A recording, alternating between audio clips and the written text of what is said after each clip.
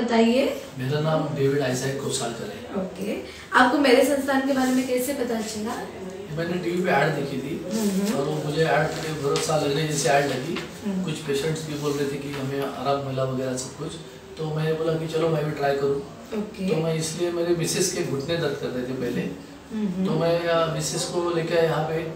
और Deepali doctor Deepali madam जो है उनके पास लेके आया। उन्होंने उनको जो कुछ दवाएँ दी उससे तुरंत मतलब पंद्रह बीस दिन में ही उनको आराम मेरे मिसेस को आराम मिलने लगा।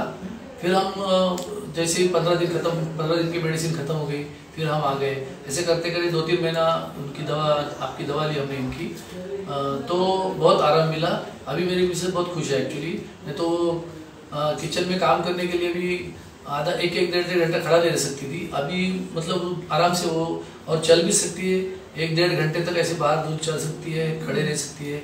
ये उसे आराम मिला, इसलिए मैं भी, मेरे लिए भी, मैं फिर खुद मेरा भी यहाँ पे सर दर्द करता है एक्चुअली सर के पीछे कुछ माइग्रेन जैसा डॉक्टर दूसरे बोल रहे थे आयुर्वेदिक डॉक्टर जो न्यूरोलॉजिस्ट को भी मैंने दिखाया था। उन्होंने ऐसा बोला था। लेकिन मैं यहाँ आने के बाद डॉक्टर दीपाली उन्होंने मुझे बोला कि ये माइग्रेन हो सकता है, लेकिन उसके साथ साथ ये सर्वाइकल स्पॉन्डिलोसिस की भी तकलीफ़ हो सकती है। तो मैं आपको जो दवा देती हूँ तो उन्होंने मुझे जो दवा दी उससे मुझे ऑलमोस्ट 90 परसेंट आराम मिला मुझे उससे। और मेरी मिसेस को भी ऑलमोस्ट 90 परसेंट आराम मिला ही है।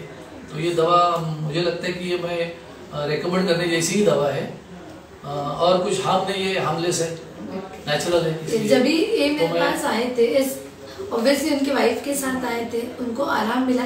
तो इनके मन में बहुत सारे डाउट्स थे कि भाई मेरी तकलीफ़ मैंने बहुत डॉक्टर के पास दिखाई है सही होगा या नहीं होगा जैसे आए थे तो उनकी तकलीफें थी। सर्वाइकल मतलब गर्दन में दर्द होना जकड़न देना काफ़ी समय से ये तकलीफ़ थी इनको। साथ में ही सर्दी, खांसी। रनिंग नोज़ नाक में से पानी आना थ्रोट इरिटेशन Yes. ये भी इनको राइनाइटिस इसको हम लोग बोलते हैं कि ये भी काफ़ी समय से तकलीफ़ थी ये तकलीफ़ शायद भूल गया बोलना। हाँ मैं भूल गई तकलीफ़ निकल गई। ओके तो अभी इन्होंने अपने यहाँ से दवाइयाँ ली है। तो ये वाली राइनाइटिस वाली तकलीफ़ तो निकल चुकी है। ऑलमोस्ट इनकी जो सर्वाइकल पेन और जो स्टिफनेस वगैरह पूरा था वो भी उनका ऑलमोस्ट निकल ही चुका है। Okay okay. अभी आप मुझे बाकी के बाकी के लोगों को क्या बताना चाहते हो? आयुर्वेद के बारे में। अ, अगर ऐसे डॉक्टर है और ऐसे डॉक्टरों से जो ईमानदारी से दवा दी जाती है और जो सही में उनकी इसमें इतनी अच्छी पढ़ाई हुई है और उनका भी एक्सपीरियंस काफ़ी है और ऐसी दवा खाने में कोई हर्ज नहीं है। तो मैं सबको रेकमेंड करूँगा कि ये आयुर्वेदिक दवा खाना अच्छा ही है। साइड इफ़ेक्ट भी नहीं है इसका। यस हम सुरक्षित है इसके लिए और ये लॉन्ग टर्म हमें आराम देता है। डेफिनेटली